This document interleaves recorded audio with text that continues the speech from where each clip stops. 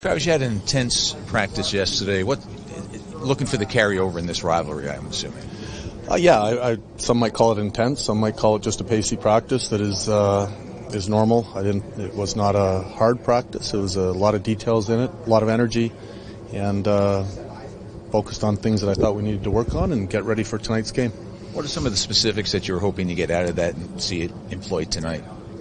Uh, we we worked on a few things that the Rangers do. Uh, not to get in specifics, but every team has a few little wrinkles in their system that you work on, and uh, but also working on our game, uh, continuing to work on pace and execution, and uh, also just a good hard practice uh, before a game. Kaapo Kähkönen obviously has joined the team. Will he start tonight? Yeah, he will.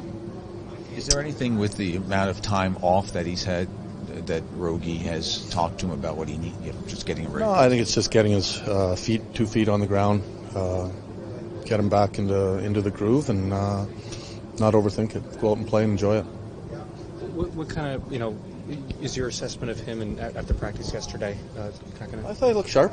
I don't overjudge goalies in practice when they're in a, on a new team, especially uh, new drills, a lot of shots. Uh, but he looked sharp. He's been in the league a while. Uh, I'm excited to see him play we're all aware, obviously, of how physical these matchups can get. Obviously, with with Rempe as well. I mean, how how aware are you of, of that? And I guess what what message you know do you send to your team before what could be a? Yeah, it's going to be an exciting game.